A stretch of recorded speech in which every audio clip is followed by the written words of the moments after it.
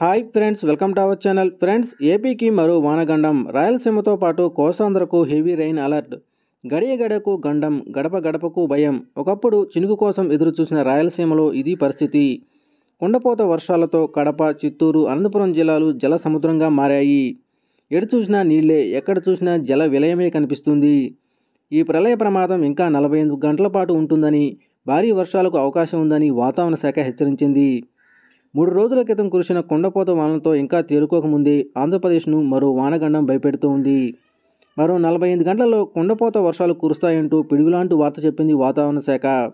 వర్ణుడి target మళ్ళీ రాయలసీమే కాబోతుంది. రాయలసీమ మీదుగానే అల్పపీడనం కొనసాగడం సీమ ప్రజల్ని భయపెడుతూ ఉంది. ఇప్పటి వరకు చిత్తూరు కడప నెల్లూరు అనంతపురం జిల్లాల్లో మాత్రమే వరుణుడు విధ్వంసం సృష్టిస్తే ఇప్పుడు ప్రకాశం గుంటూరు కర్నూలు జిల్లాల్లోనూ ఈ ప్రభావం చూపిస్తూ ఉన్నాడు.